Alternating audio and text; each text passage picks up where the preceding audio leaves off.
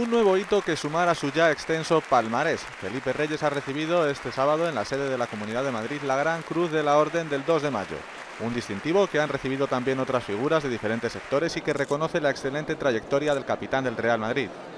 Muy feliz, eh, orgulloso, sobre todo porque cuando yo empecé a jugar al baloncesto nunca pensé que iba a conseguir todo lo que estoy consiguiendo. Además esto es un, un premio de la Comunidad de Madrid que me hace sentir especialmente feliz porque yo no he nacido aquí, pero es como, bueno, me he criado desde los meses que vivo en Madrid, me siento madrileño y, y bueno, pues eh, me voy contentísimo, eh, muy agradecido al presidente, a Ignacio González por, por este premio.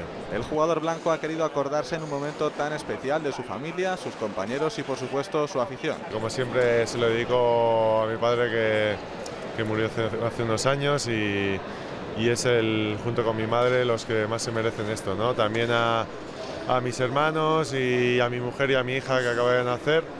Y luego también darle las gracias por todo el apoyo que me han estado mostrando estos últimos años a la afición madridista, que, que son los que me dan fuerza cada día en cada partido para seguir mejorando y, y seguir cosechando éxitos. Y ahora a por la Euroliga, el presidente de la Comunidad de Madrid, Ignacio González, le ha invitado a volver con el trofeo y Reyes, aunque es cauto, se muestra ilusionado.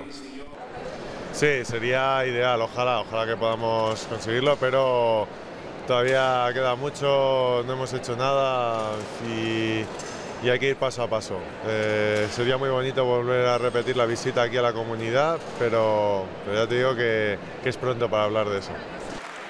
En unas semanas la visita puede repetirse.